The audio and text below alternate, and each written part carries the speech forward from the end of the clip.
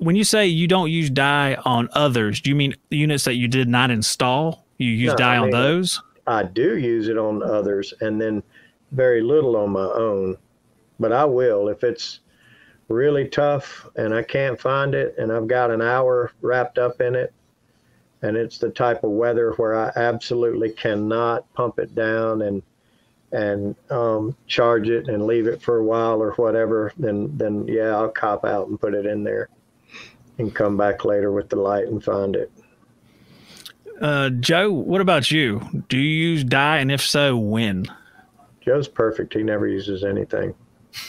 He wouldn't do it, or he'd die not trying.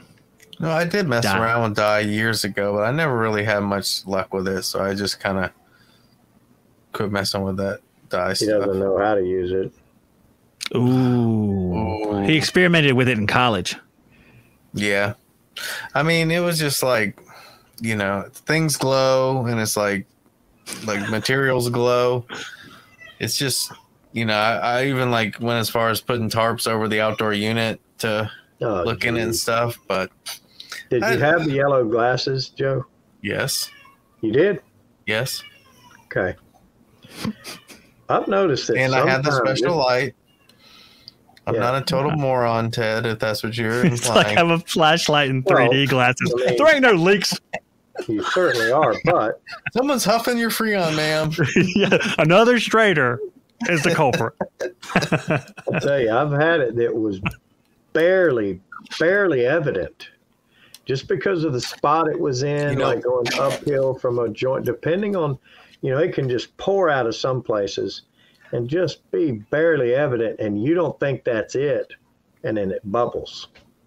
And you change it and fix it, and it goes away. But it's a two week leak down.